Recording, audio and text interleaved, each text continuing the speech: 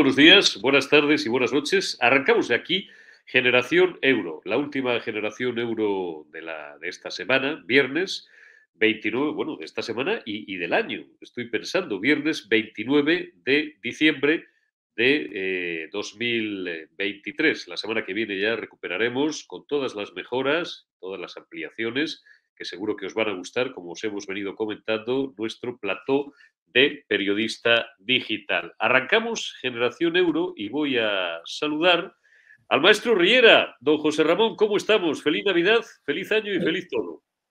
Feliz eh, preparación de salida de año, feliz entrada de año y el último programa, efectivamente, es del 2023 y esperemos que podamos hacer muchísimos más programas en el 2024 eh, para darle un poquito más de cera a este gobierno que se la merece todos los días. Señor, sí, señor. No le quepa duda que vamos a seguir aquí al pie del cañón porque tenemos lo más importante, bueno, tenemos muchas cosas importantes. Mira, periodista digital, tenemos lo primero el público, tenemos una audiencia fantástica, fenomenal, además creciente, creciente, nos hemos puesto como meta inmediata en las próximas semanas alcanzar los 700.000 suscriptores, que ya estamos en 689, 690, no he mirado eh, ayer. 689.000, 690.000, los 700.000 suscriptores están al caer. Alfonso Rojo nos decía el otro día el objetivo, el, millón, en el resumen que hicimos del año. ¿no? Tenemos además de público fiel, tenemos al mejor editor, que es Alfonso Rojo, y director, que es siempre un, estímulo, que, haya un profesional, además con, eh, con, décadas de, vuelo y de recorrido en los medios y con, y bueno, con arrestos suficientes para seguir manteniendo la aventura empresarial en un contexto político, social, institucional y, por supuesto, económico, pues delicado, delicado siempre para cualquier empresario y más para, para un empresario de prensa. Tenemos los mejores profesionales, tenemos a, tenemos a Rebeca, tenemos a Bertrand, tenemos a Josué, tenemos a todos los compañeros que hacen diariamente con José Pablo al, al mando periodistadigital.com y tenemos a los mejores analistas como José Ramón Riera. Así que, ¿qué, qué, qué, puede salir mal, José Ramón? Nada. Hombre, yo, yo creo que eh, sois un equipo estupendo, sin duda Alfonso tiene una cabeza perfectamente amueblada y sabe muy bien lo que quiere. Tiene una mano derecha, que eres tú en estos momentos, en una parte sustancial de, los programas, más, más todo el resto del equipo. Es decir, que bueno, pues eh, estáis consiguiendo pues magníficos éxitos eh, y lo importante en este caso, yo creo que tenéis una, editor, una línea editorial que es muy importante. O sea, sabéis lo que queréis decir y al saber lo que queréis comunicar, todo es mucho más sencillo porque no, no, estáis yendo dando trompazos de un lado para otro, sino eh, seguís y tenéis vuestra línea y eso os favorece porque os permite, bueno, pues que poco a poco pues hayáis pasado de 100.000 a 200.000 y vais a los 700.000 y cuando hayáis llegado a los 700 pues serán 725 y luego 750 así hasta poco a poco seguir creciendo al millón. Y lo bueno, hay una cosa muy importante que tenéis, es que respetáis la opinión de vuestros eh, contertulios. O sea, con lo cual, en ni un solo momento, en ni un solo momento yo he sentido, ni una sola, de todo lo que he dicho, ha sido bien acogido, respetado, coincidirá o no siempre con la línea editorial, pero no importa. Es decir, lo más importante es que venir a vuestra casa es venir a poder expresar una opinión con total y absoluta libertad. Y eso y eso tú lo sabes, Eurico, tú lo sabes, porque has estado en otros medios y en otros sectores, sabes que no es trivial. Sabes que muchas veces dices, no, no, usted de esto no puede pasar, usted no puede seguir por aquí, usted tiene que seguir. Entonces, claro, es decir, estar en vuestra casa es cómodo, es cómodo porque eh, tú me puedes preguntar y yo puedo responder con tranquilidad mi pensamiento, mi opinión, con total y absoluta libertad, sin tener que hacer ninguna restricción. Y eso, bueno, pues la, audiencia lo sabe. Mm. Así, así, así es. si, yo le, si yo le contara, Mili, Mili la que, como decía, parafraseando al humorista Manchego, si Mili la que hice yo en Cerro Muriano, si yo le contara lo que hay por ahí, que lo sabe usted bien, porque usted circula también por otros medios amigos donde tiene la misma, la misma libertad que, aquí, ¿no? Como el toro y, otros, y otros medios, pero no es, no es moneda, no es moneda corriente. Maestro, no le quiero, no le quiero robar muchos minutos y vamos al, al turrón. venga, si no hago el chiste, no, no sería yo.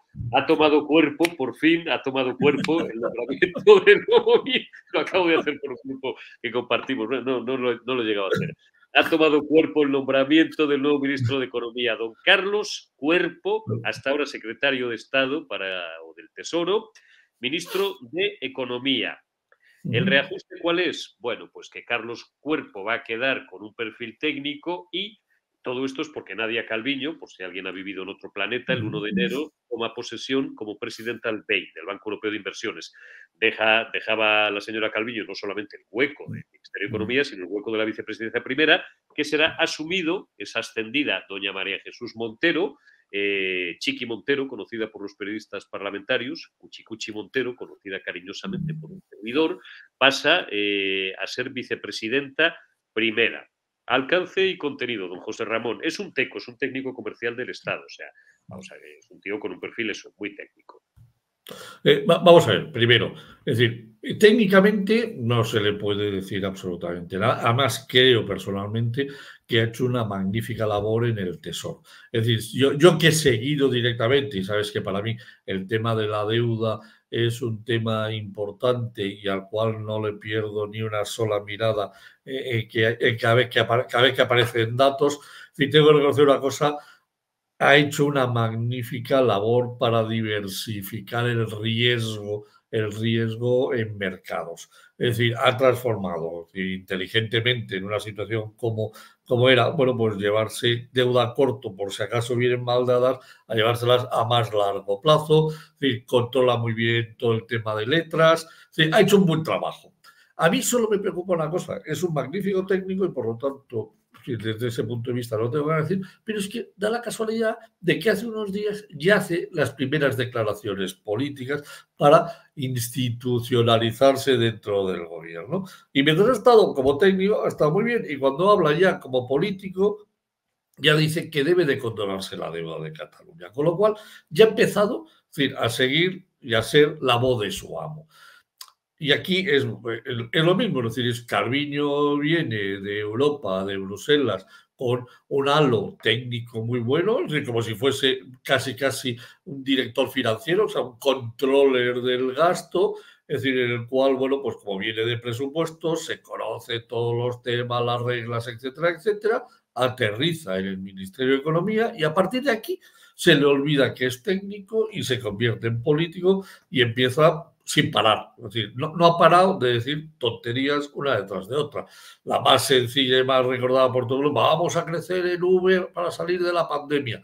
Mentira cochina. O sea, no solamente no crecemos en V, sino que nos cuesta 21 y 22 el tomar y el, y el recuperar el, eh, el aliento del 2019. Pero además, mal hecho, porque lo hace teniendo que nombrar a un chef eh, de cocina en el Instituto Nacional de Estadística, en donde nombra chef cinco estrellas Michelin a Elena Manzanera, que cocina muy bien el dato. Y entonces el 18 de septiembre se produce el milagro eh, de las bodas de Cana. Y de pronto, es decir, en un anuncio inesperado, nos suben el PIB de, revisado del 20 en un 0,1%, que bueno, pues es normal, y nos revisan el 21 y el 22, en donde nos suben otro 1,2. Y anda, qué casualidades de la vida, que resulta decir, que el PIB del 2019 con el PIB del 2022 por el arte de Manzanera, hombre, se diferencia de un billón doscientos mil millones en términos reales en 280 millones de euros solo.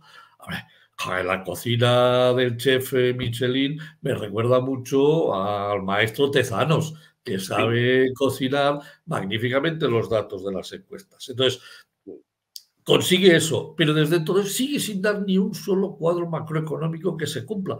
Eh, acabamos de leer en el informe del Banco de España, del último trimestre que salió el 19, el 20 de diciembre, eh, bueno, pues dándole el Banco de España muy, sosegadito. Vamos a crecer solo un 0,3%, como llevamos un 1,3%, crecemos un 1,6%. Es decir, el año que viene vamos a crecer bastante menos de lo que en años anteriores, con lo cual vamos a crecer un 1, no sé cuánto, en lugar del 2% que había dicho el, el gobierno, como la señora Calviño en los cuadros que envió para presupuestos anticipados a Bruselas.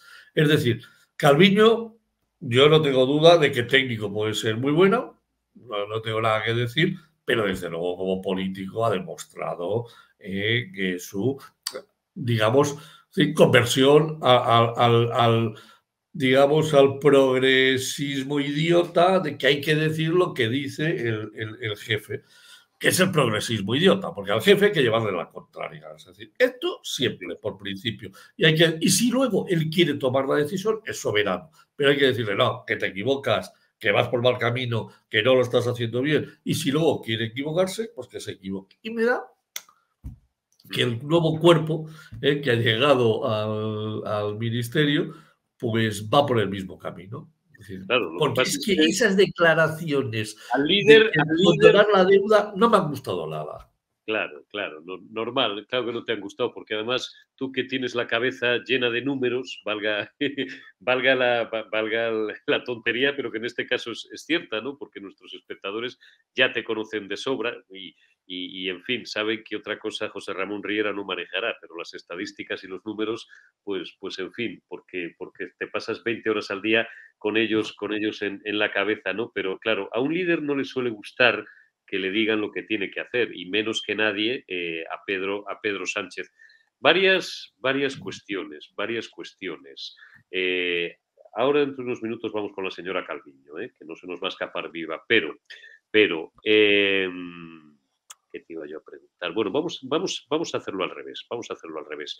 Nadia Calviño ha dicho, estamos grabando esto pocas horas después, eh, un poco antes de que lo veáis a las 7 de la tarde, si nos veis en tiempo real, pero pocas horas después, eh, un par de horas después de la comparecencia del, del figura, para anunciar eh, el nombramiento de don Carlos Cuerpo y la ascensión a los, a los cielos como mano derecha vicepresidenta primera del gobierno de doña Chiqui, Chiqui Montero. Ha glosado, ha glosado, como no podía ser de otra manera, eh, los servicios, no solamente se los ha agradecido, sino ha glosado los servicios prestados por doña Nadia Calviño, que mm, ha obtenido, bueno, un éxito en la gestión de la política económica del Reino de España, más o menos es, viene siendo la literalidad de las palabras de Sánchez, absolutamente sobresaliente, ha dicho Pedro Sánchez, no siendo el menor de los éxitos, ha remarcado el comandante en jefe el de, eh, bueno, pues manejar la inflación y, y colocarnos en un dato de inflación fantástico en un contexto muy delicado, Riera. Eh, eh, vamos a ver.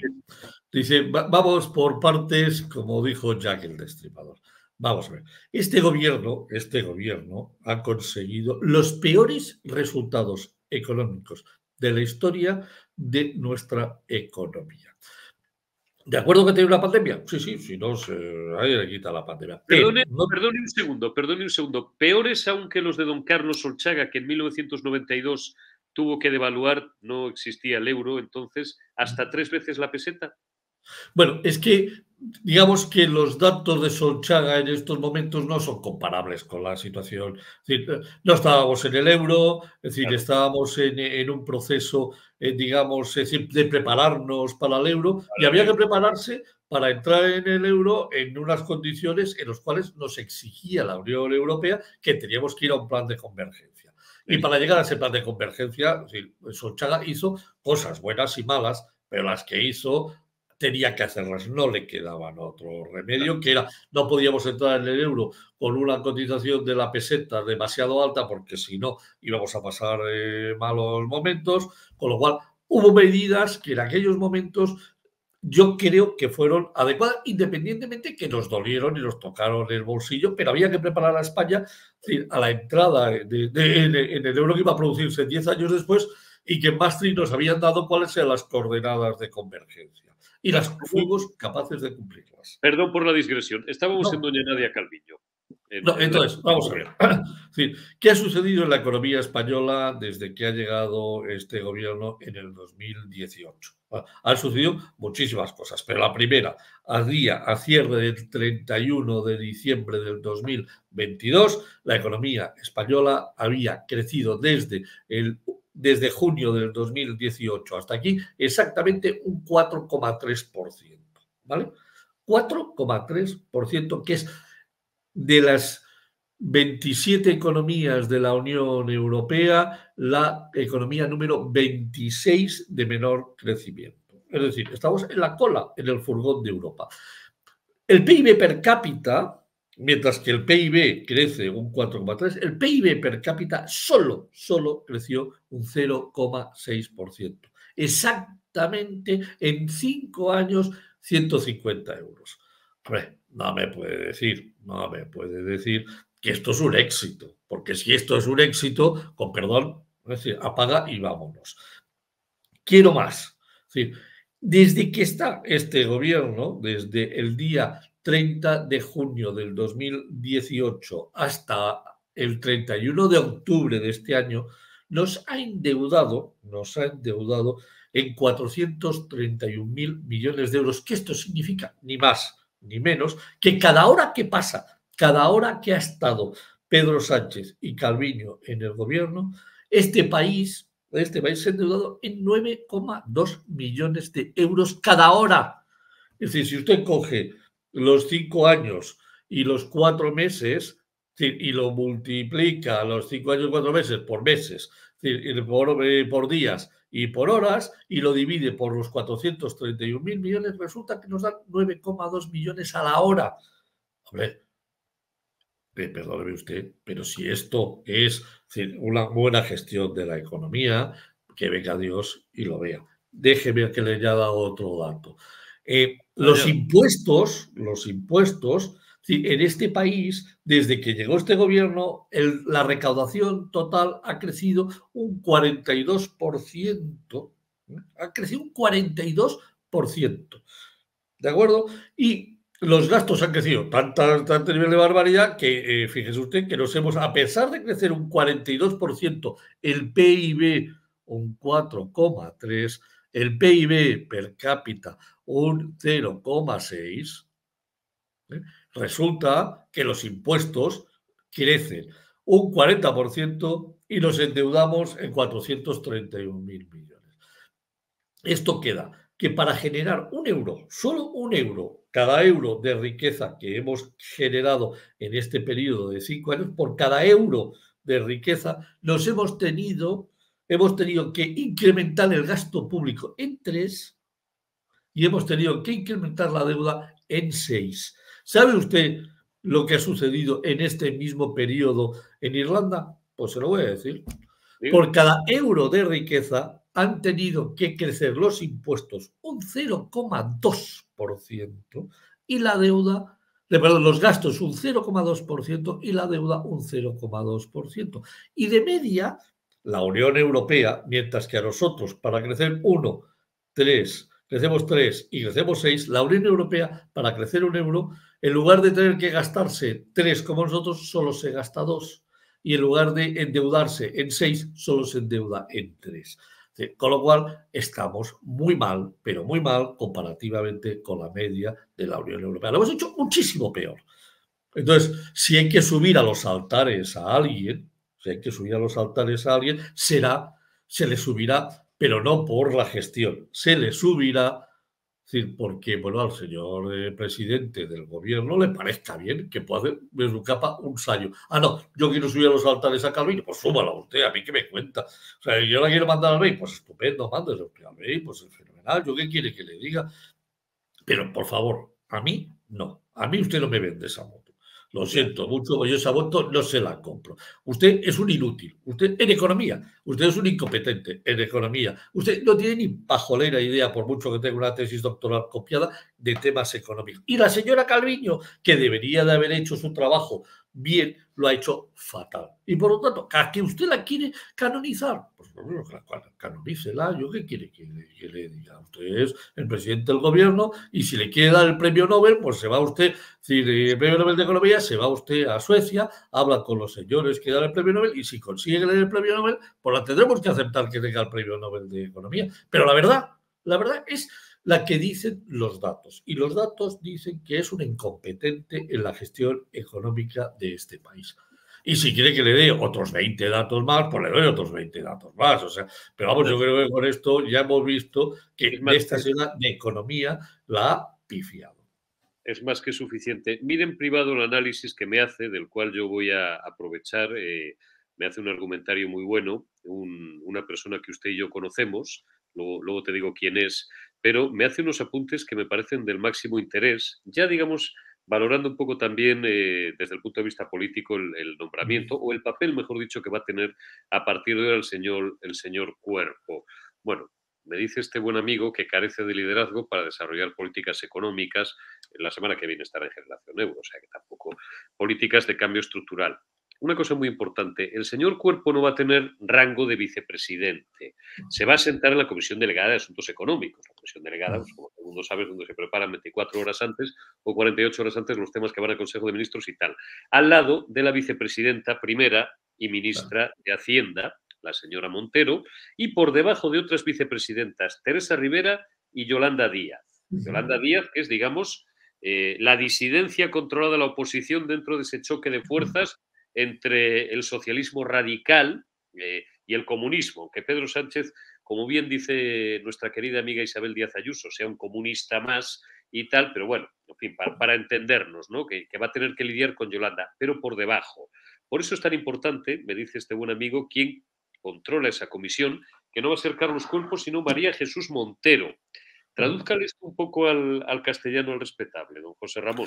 vamos a ver. Eh, eh, el nombramiento de vicepresidente primero del gobierno ha quedado bien claro que iba a ser eh, Montero por un motivo, por el tema de economía o hacienda. En este caso, gana Hacienda bueno, por el peso específico que tiene María Jesús Montero, Chiqui Montero.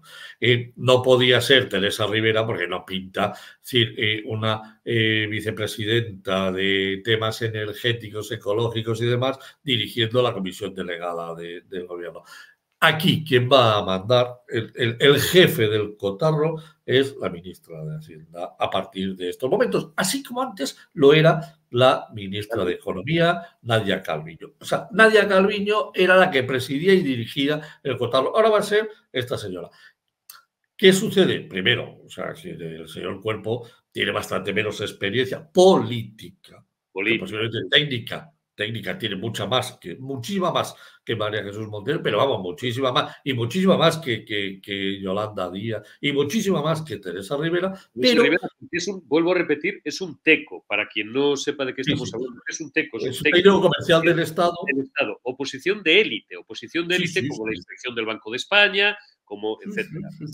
para que nos hagamos una idea, técnico comercial del Estado es la categoría más o menos equivalente a la de un notario. O sea, para que tengamos el peso específico, eh, es decir, el técnico comercial del Estado es tienes que ser técnico comercial para irte a una delegación en una, eh, en una embajada importante para llevar las relaciones comerciales de España en esa embajada. O eres técnico comercial del Estado o no, o no puedes ir. Se, iban, se, iban, siempre de número dos, los tecos. Era uno de los destinos, digamos, clásicos de un teco, ¿no? Pues te ibas de número dos a la embajada pues, de Washington o París. O sí, sí, sí, claro, siempre ha sido así. Por eso era una posición superior en categoría y en prestigio a la economista del Estado, siendo la economista del Estado una cosa muy seria. Y siendo la inspector de Hacienda una cosa muy seria. Bueno, pues el TECO, el técnico comercial del Estado, equivale a un notario, a todos los efectos de poder, de prestigio, y como acabas de explicar muy bien,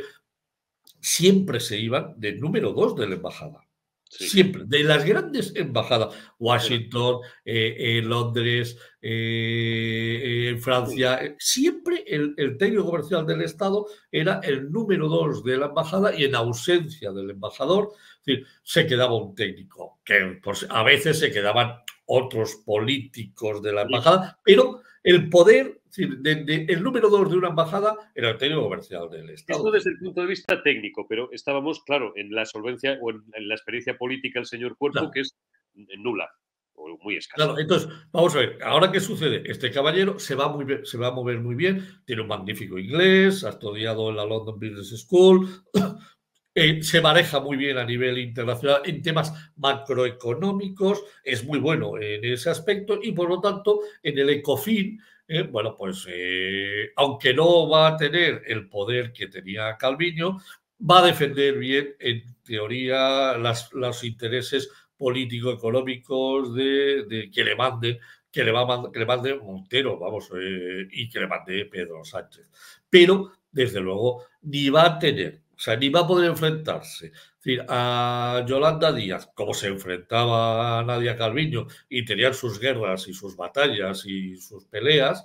¿eh? Una vez se la ganaba una, otra vez se la ganaba otra, en función de, bueno, de los intereses, pero aquí está perdido. O sea, si el primer enfrentamiento que tenga con Yolanda Díaz, Yolanda Díaz le va a cortar con perdón, los cataplines para dejar claro de quién es el que manda ahí. Y por mucho que quiera Montero, y por mucho que quiera Montero, Montero no tiene la preparación técnica para enfrentarse como la tenía Calviño, de poderle decir a Yolanda Díaz que, que no, que, que, hace mucho daño que la medida económica va a afectar aquí, aquí, aquí, que esto puede tener estas repercusiones. Montero se va a tragar sapos y culebras. Recordemos que la señora Montero no es economista ni es jurista, sino que es médico, lo cual está muy bien. Cirujano. Eh, cirujana, eh, desconocemos su capacidad técnica como médico cirujano, pero no es una inspectora de Hacienda, no es una economista del Estado, no, no tiene esa preparación. Efectivamente, con lo cual, vamos a ver, es decir, eh, en estos momentos, esta batalla, hoy esta batalla, en esta batalla, tiene más poder, es decir, Yolanda Díaz, vicepresidenta segunda, que va a utilizar todas sus mañas y artimañas para conseguir eh, lo, que le da, lo que le dé la gana. El técnico va a poder poner en manos de Montero información, pero el problema está en que entre tú y yo, Chiqui Montero es que es un, es un cero a la izquierda, de verdad. Políticamente no sé, pero es que para que interprete los mensajes que le mande un técnico y los sepa utilizar para enfrentarse con una artimañosa como la de Sumar, va a tener muchos, muchos, muchos y muy serios problemas. Con lo cual, mi opinión, mi opinión, hasta que vea la, esta batalla, la ha ganado Yolanda Díaz. Bien. Independientemente de que le pongan por encima a Chiqui Montero, la ha ganado Yolanda, pero vamos, de, de, de, saque.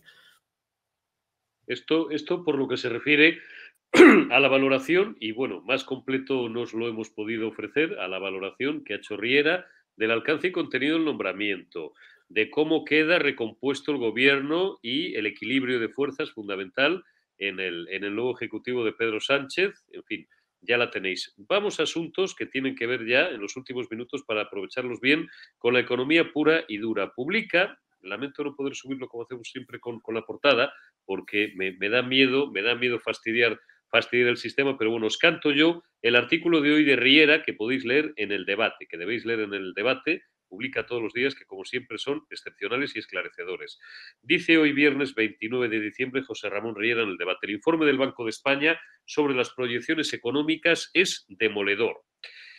Cree Riera que el único interés que tiene este gobierno en proponer escenarios que sabe que no se van a cumplir es tratar de colar un déficit a Bruselas que sabe perfectamente que no va a cumplir. Alcance y contenido de su reflexión, maestro. Eh, vamos a ver, primero, el Banco de España todavía es el, último reducto que nos queda independiente y que lo perderemos en el mes de junio, eh, en el cual eh, eh de Cos se retira, o sea, ya termina su, mandato. A partir de ahí, bueno, pues entrará otro nuevo gobernador del Banco de España y yo creo que eh, si escriba que se ha quedado la retaguardia, tiene un montón de números para irse ahí. Con lo cual, el informe del Banco de España nos dice que primero, este año vamos a crecer bastante menos de lo planificado por economía y que el año que viene también. Y eso es lo que explico en el artículo. Lo que no explico en el artículo, porque eh, no lo tenía en el momento en que lo escribí, pero te lo puedo dar en estos momentos, es que, mira, el 30 de noviembre nuestra economía ha terminado, eh, dados, dados datos oficiales por la Intervención General del Estado, solo quedaban 16.000 millones de euros en el Banco de España. El año pasado quedaban 43.000 millones de euros. O sea, se ha pasado de una caja 30 de noviembre de 43.000 a 16.000 millones. Este ¿Eso, qué implica? ¿Eso qué implica, Riera? Bueno, pues que me implica una cosa muy, que hemos tirado de caja para no endeudarnos. Hemos tirado de caja para no endeudarnos. Ahora, como nos hemos quedado en 16.000 millones, que es decir, uh, tenemos la cuenta corriente, la, caja eh, del negocio o, de la casa tirando, ¿tenemos que emitir más deuda? Vamos a ver, y te cuento. Este mes, este mes de diciembre hay que pagar mínimo 33 mil millones de gastos del día a día ¿eh? y vamos a ingresar más o menos entre impuestos, total aproximadamente, aproximadamente eh, unos 32 mil millones. Pero parte de estos ingresos se van a las comunidades autónomas, que hay que darles 10 mil millones todos los meses de, eh, para sostenerlos. Es decir, tenemos 16.000 en cuenta. Me tengo que gastar 33, me faltan, me faltan en 17.000 millones. Pero tengo que mandar 10.000, me faltan 27 como ingreso. Sí, eh, equilibrio, más o menos equilibrio cuentas, ya. Pero resulta que la Intervención General de la Administración del Estado publica ayer, ayer, un dato que dice que la Administración Central del Estado debe a proveedores 50 mil millones de euros. Ojo, 50 mil millones de euros debe la Administración Central del Estado, que puede hacer tres cosas. Meterlas en el cajón, que es lo que hacen siempre los socialistas. Una, una, eh, eh, pedir dinero prestado para pagarlo, y entonces si pide dinero para prestado para pagarlo, se tiene que endeudar, se tiene que endeudar. Dos, si puede endeudarse eh, dejando la caja cero o puede endeudarse dejando la caja al mismo nivel que está. O tres, no pagar. O sea, es decir, patada a seguir, Sí, supone... a seguir. eso está contabilizado, o sea, ya no te lo puedes guardar, no, no. está reconocido por la intervención general de la Administración del Estado. Hay créditos reconocidos, créditos pagados y pendientes de pago. y hay 50.000 millones de... 50.000, ¿eh? que no estamos hablando de... No, no. Hay 50.000 millones de euros pendientes de pagar, de los cuales 10.000 millones son IVA.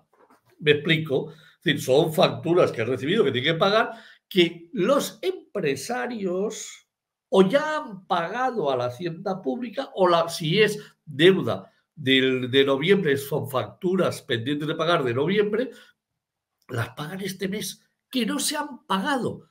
Yo, me pongo, yo me pongo enfermo cada vez que oigo esto, Riera. ¿Para cuándo el criterio de caja y no el de devengo? Que es una, en fin, creo que cualquiera lo puede entender, lo hemos explicado millones de veces.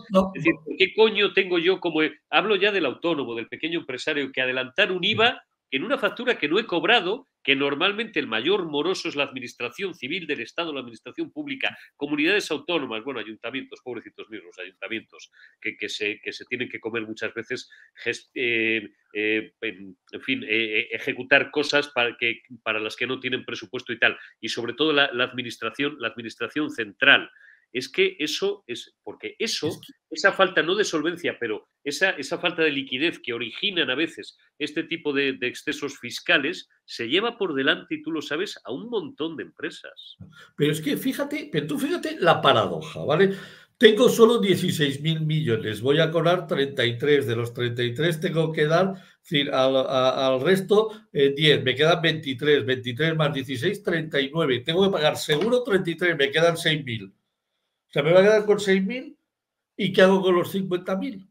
Los pego patadas a seguir y me los llevo a enero. Pero en enero resulta que tendrás otros 30 o 40 de proveedores porque es que sigues gastando, sigues siendo una máquina de gastar Y para que sepas, le quedan todavía presupuesto de gastos de 47 mil millones a 30 de noviembre para ser gastados en diciembre. El momento que se gasten, reciben facturas. El momento que reciben facturas, se pasan a tener pendiente de pago. Omega, que es que vamos a tener 100 mil millones a, cierre de diciembre-enero, de que hay que pagar 100 mil millones a proveedores. Ay, amigo, ¿y cómo los vamos a pagar si solo tenemos 16 mil millones de caja? Dígamelo, perdón, dígamelo usted. Eh, ¿Emitiendo deuda? ¿Generando más papelitos? Es que no queda otro remedio. vamos a ver. Si usted tiene una empresa, don Eurico, usted tiene una empresa, tengo 16.000, ¿eh? voy a cobrar 20.000, 36.000, tengo gastos corrientes de mis empleados, de organización, 30.000, bueno, me quedan 6.000, ya, pero es que tengo facturas en mi balance pendientes de cobrar, de, 50, de, de pagar de 50.000 millones, ¿qué hace usted? Pues se va al banco. Se va al banco, claro y le pide al banco que le preste dinero. Si el banco le presta dinero, le presta a usted los 50 mil millones, usted los suelta y sigue, de, pasa de ver 50 mil y en caja sigue sin tener un durito o un eurito. En caja sigue a cero, claro. Sigue siendo 6 mil. Pero y seguir afrontando, aparte, el, coste financiero de esa deuda que acabas de contraer que además ya en la contabilidad nacional ya empieza a notarse en los gastos eh, financieros.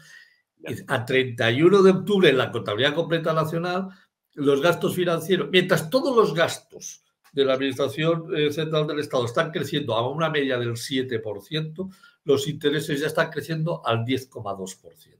Claro, y, más que van a crecer. Y dentro de poco crecerá al 12 y al 14 y al 15 y al 20%. Claro, ya empiezan a notarse, ya, ya, ya no es, ya va subiendo. Cada mes el porcentaje de incremento de los intereses va subiendo.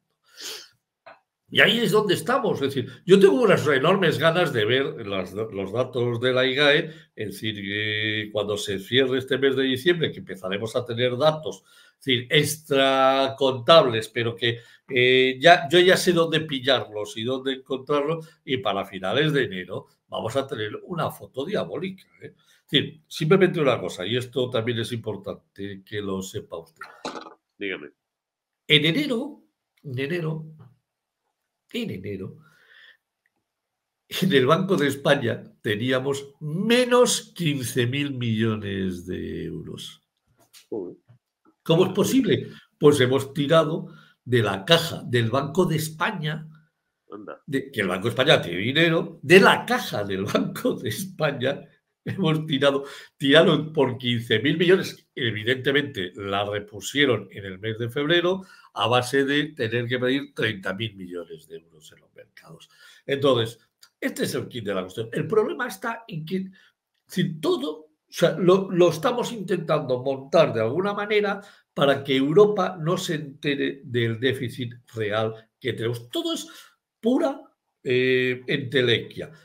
Claro, hay un riesgo. Si te pasas y no dices toda la verdad y te llevas una parte para el año que viene, el año que viene empiezan las reglas fiscales duras. Y si lo sacas todo, vas, a pegar un cante, vas a pegar un cante. un cante que ni Pavarotti, pero con eso quería, con eso quería cerrar Riera, porque me tiraría toda la mañana hablando contigo, porque además es que lo explicas tan bien que hasta alguien que no sea economista, vamos, lo puede entender todo de la cruz a la firma. Pero claro, es que este año en teoría, que lo hablaba ayer ya con Salcedo y ahora lo comento contigo, eh, comienzan otra vez las reglas fiscales. Vuelvo a recordar siempre, para los no cafeteros, que no todo el mundo tiene por qué saber de economía, que se congelaron al principio de la pandemia. ¿Qué supone eso? Pues que en 2024 ya habría, habría, que, habría que cerrar el ejercicio con un 3% de déficit, para que el respetable sea una idea, frisamos el 5 ahora mismo y, joder, con un 60% de deuda. Tenemos un 109, un 110, fíjate tú. No, vamos a ver. El deuda, en, la última reunión del ECOFIN se ha decidido que se tiene que bajar solo un punto, ¿vale? Con lo cual, no me preocupa. el problema no está en bajar un punto, el problema está en conseguir el 3% de déficit. ¿Por qué?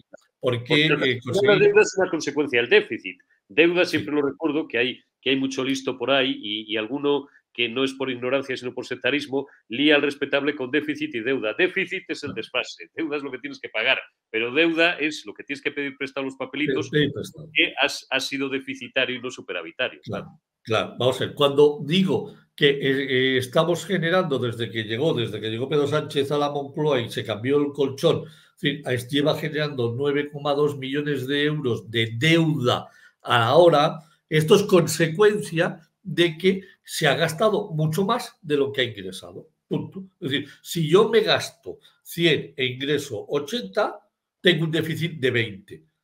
Y ese déficit de 20, ¿cómo lo palío? Pues pidiendo dinero. Y al pedir dinero, genero deuda. Entonces, como todos los años estoy creciendo en gastos y estoy creciendo, y aunque crezco en impuestos, no crezco lo suficiente y cada año genero más déficit, más déficit, más déficit. Así hemos llegado a generar 431 mil millones de deuda desde que está Pedro Sánchez. Y el problema está, es que, bueno, vale, como son 431 mil millones, pero si mi PIB si crece a precio nominal, es decir, que esto no se mide sobre precios reales, sino se mide con la inflación. La inflación beneficia al Producto Interior Bruto nominal, porque mientras este año hemos crecido un 1,3% en términos reales, hemos crecido un 7% en términos nominales. Ya, bueno, pero... pero, sí, Y la deuda se mide sobre el PIB nominal. Con lo cual, si tú el denominador, aunque el numerador suba, si el denominador también sube, eh, Claro, es que eh, si tú divides 400.000 entre un millón, pues te sale una cifra. Si subes si, eh, entre 400.000 entre un millón, 500.000 eh, entre un millón 200, pues te sale otra cifra más bajita. Con lo cual, cuando estamos hablando... Disminuye, claro, evidentemente. Cuando hablamos de un billón 587 contra un PIB de este año de un, un billón 403, pues sale un 109, 110. Es decir, cuando el año que viene, en lugar de un billón 403, sea por el tema precios, un billón 520, aunque la deuda haya subido en 80 mil millones, como el PIB ha crecido más, está bajando el porcentaje el porcentaje sobre el PIB, que en valor absoluto, claro que está creciendo. Y por lo tanto, los intereses cada día son más grandes y el año que viene van a llegar a 40 mil millones o más de pues intereses. 40 mil millones o más. solo de intereses, solo de intereses que hay que pagar. solo de pues intereses. Y entonces, claro, el problema es que hoy, vamos a ver, el año que viene tenemos que pensar una cosa, Europa no existe. Son los padres. Europa no existe, no existe. ¿Por qué no existe? Porque el 1 de abril Europa, el Parlamento Europeo desaparece. ¿Por qué? Porque quedan funciones porque las elecciones son el 9 de junio. El 9 de junio elegimos parlamentarios europeos y se constituyen después de todas las elecciones, finales de julio existe el Europarlamento. Pero el Europarlamento no tiene capacidades de control, pero sí tiene la capacidad de elegir al presidente de la Comisión Europea. Más o menos finales de septiembre, primeros de octubre, tenemos nombre del presidente de la Comisión Europea. Y a partir de ahí, el presidente de la Comisión Europea tiene que negociar con los 27 países cuál va a ser el, comisario de cada uno de los países que va a, a, llevarse a su equipo. Y eso le lleva un mes y medio de tiempo aproximadamente, con lo cual hasta el 1 de diciembre no tenemos Comisión Europea. Entonces, Pedro Sánchez esto lo sabe, lo tiene perfectamente en el calendario, lo conoce también o mejor que yo, y por lo tanto su jugada del 23 de julio era una apuesta arriesgada, era si me sale bien, a mí no me chistan hasta marzo o junio del 25. Fíjese usted la cantidad de un año y pico que tiene el figura para correr. Efectivamente, efectivamente. Vamos a ver, esto hay, y él lo, vamos, sí, eh, en su equipo hay gente muy inteligente, muy preparada, que conoce, igual que me conozco yo todos estos temas, se lo conocen a la perfección y por lo tanto ellos están en una... Ah, muy bien. ¿Cuándo reporto yo el déficit final del 24? En marzo del 25. En marzo del 25. en marzo del 25 es cuando empiezo a tener problemas. Claro, Sí, que, pero que les echen sal en la cola, porque para eso queda un año y medio. Efectivamente. O sea, quedan quedan 15 meses enteritos de hacer de su capa un sabio. No importa. ¿Que le van a echar la bronca? Bien. ¿Y ahora qué puede pasar? ¿Qué puede pasar? Primero, que llegue una Comisión Europea y mandas a todas tus huestes a, a comerle orejas. Y comer las orejas en algunos miembros de la Comisión Europea, comisarios, con los cuales lo importante es que tú tengas gente en Bruselas que sepa relacionarse y moverse bien. Y si además tú tienes la suerte, como has hecho durante estos años, que le has comido la oreja de maravilla a ojitos tiernos, von der Leyen, pues claro, el tema es, decir, ha tenido un apoyo de la presidente de la Comisión Europea durante estos años. Ya esa señora está mosqueada, porque ya le han hecho varias pifias. Es alemana, la han llamado nazi, eso a ningún alemán le gusta, independientemente de que se lo llame a un miembro de su partido, que es de su coalición o no. al señor Manfred Weber, que si no se habían enterado de quién era el figura, se enteraron el otro día, porque les llamó nazis en su puñetera cara, porque eran, pues son alemanes, sabe usted. Entonces, eh, eh, claro, pero ya von der Leyen no sabemos si va a continuar, porque von der Leyen puede, puede que se vaya a secretaria general de la OTAN. Puede que se vaya a secretaria general de la OTAN. Y puede que venga otro, otra persona a la... Y entonces, Sánchez eh, está en esa... Oye, y si viene otro y le como la oreja, pues a lo mejor gana otro trimestre o otros seis meses y resulta que lo que en el fondo voy a ganar son dos años. Y él sabe, él sabe que este gobierno más de dos años, más de dos años. No se aguanta, aquí las tensiones van a ser tremendas. Es decir, eh, todos tirando de, la cuerda para sitios diferentes. Podemos sumar Junts, eh, Esquerra, Bildu, PNV. Aquí cada uno a su interés. Entonces, va a haber momentos. ¿Van a, ¿Van a aprobar los presupuestos? Sí, porque la amnistía está por el medio y se van a aprobar los presupuestos generales. Y a partir de aquí, ya, es que no va a aprobar nada. Y entonces, bueno, pues con los presupuestos. De que lo que lleva haciendo tres años. Claro, hasta que la Comisión Europea diga, no, que es que los números no cuadran, no cuadran. Es que usted no cumple el, el, el, plan de, de, convergencia de la Unión Europea, es que usted se lo salta y ese día se funden los cables. Ese día hay problemas. Pero claro, hay que ser realistas, hay que ser realistas. El día 1 de abril, que conoceremos el déficit real del 30 de marzo, o sea, el 30 de marzo, de lo que ha pasado en la economía española, la oficial, el dato oficial que presentemos, están en funciones. Ya, ya, ya no pintan nada, ya no pueden hacer nada contra este gobierno. Bueno, pues nos dejas el cuerpo, Riera. Me tiraría, lo vuelvo a repetir. Mis, amigos, nuestros amigos saben que esto es una frase que yo repito mucho, pero es que siempre la digo y la digo con razón. El caso de Riera, pues, pues más si cabe. Me tiraría contigo hablando toda la mañana, pero me, como ya tiempo de la segunda dosis y me pelarían y, con razón. Pero nos dejas el cuerpo para ir a, para ir a por un café calentito. yo estoy aquí con mi taza de café, que la tengo todavía calentita es lo que hay. Oye, te iba a preguntar, pero ¿ha merecido la pena la exégesis que has hecho, como siempre, brillante, como todas las tuyas, tanto desde el punto de vista del nuevo nombramiento, el nuevo, el nuevo eh, digamos, equilibrio de fuerzas en, en, el gobierno, en el área económica, y después todas las disquisiciones, todas las disquisiciones que has hecho acerca de cómo van a ser a partir de ahora nuestras relaciones con Europa y sobre todo el, elefantiásico nivel de deuda que estamos, que estamos asumiendo, que estamos asumiendo y que vamos a seguir contrayendo y cómo se queda la caja del Estado tiritando como la temperatura, no, más fría todavía, mucho peor. Con lo cual, has visto una cosa, Eurico. Nadie te ha dicho nunca ni te ha contado cuál es el dato que hay en el Banco de España. No, no, no, no, no, no, no. Y me ha gustado saberlo. Por, está muy bien, está muy bien, está muy bien. Que quedan 16 mil millones de pavos y que hace un año teníamos cuarenta y tantos mil. Y, ahora, para que lo veas, te voy a mandar una foto por mi, de mi móvil del sitio donde lo publica. la oh. intervención general de la Administración del Estado, para que veas eh, que además, no no, no, no, ya sabes que no me lo invento, pero... No, no, no, no, no, no, no, es muy, muy complicado encontrar ese dato. Sí, sí, sí, pues joder, qué, qué, grande eres. Con lo cual, la semana que viene, que ya estrenaremos semana, estrenaremos año y estrenaremos Retaguardia, por supuesto, y Generación Euro también, pues el, año, el, eh, eh, bueno, el año que viene, claro, dentro de unos días, sí podemos charlar un poco de los, eh, bueno, los que deberían ser los deberes para enderezar las cuentas del Reino de España, aunque lo, cuentas al final, lo has contado muchas veces, que, este gobierno, si fuera responsable, debería de asumir, y qué es lo que, lo que va a seguir haciendo. José Ramón Riera, que muchísimas gracias.